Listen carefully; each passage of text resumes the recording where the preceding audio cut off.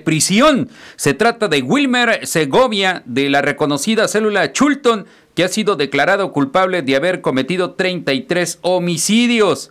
Una corte de El Salvador condenó a 1.310 años de prisión a un pandillero de la Mara Salvatrucha por varios delitos, según informó ayer en sus redes sociales el fiscal general Rodolfo Delgado. Se trata de Wilmer Segovia de la reconocida célula Chulton, quien ha sido declarado culpable de haber cometido 33 homicidios, 9 proposiciones para cometer asesinatos y varias extorsiones de acuerdo con el Delgado. Los pandilleros que tanto dolor y llanto lo han causado al pueblo salvadoreño no van a salir, permanecerán encerrados hasta que paguen por cada uno de sus crímenes. Nos encargaremos de eso, subrayó a través de Twitter. Añadió que Miguel Ángel Portillo de la referida célula del MS-13 fue condenado a 945 años de prisión por 22 homicidios, cuatro proposiciones para cometer asesinato, un intento de homicidio y extorsiones.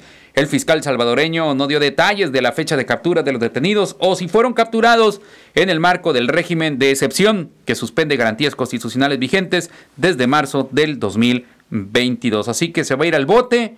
Pues no, ya jamás va a salir este tipo 1.310 años de cárcel. Nunca había escuchado una condena tan larga como a este pandillero, pues que va a estar ya el resto de sus días tras la reja. Sí, prácticamente ya cadena perpetua.